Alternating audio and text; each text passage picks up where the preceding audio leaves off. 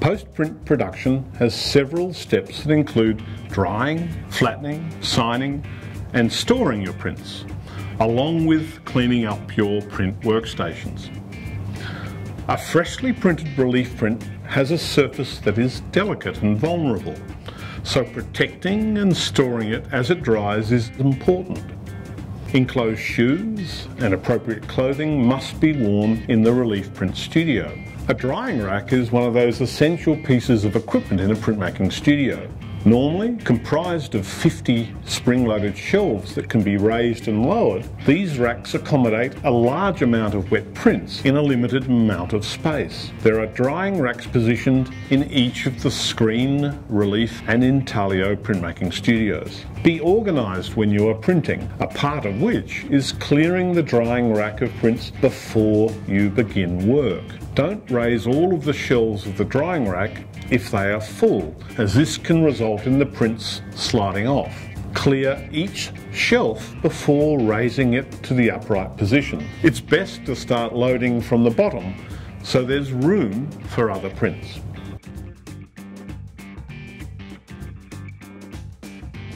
As a courtesy, the prints that have been removed from the rack should be placed in the unracked print drawer that is clearly marked in the relief printing studio.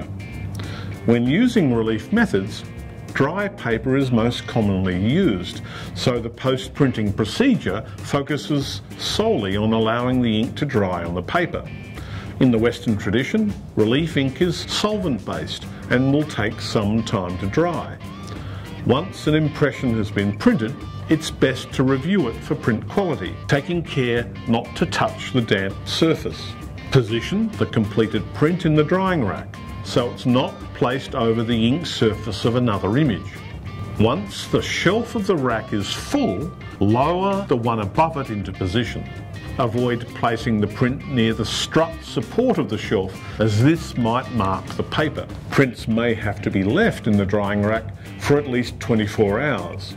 It's best not to store your prints in the rack as it's in constant use. Make every effort to collect them as soon as they are dry. Once the prints are clean, dry and flat, they're ready to be signed.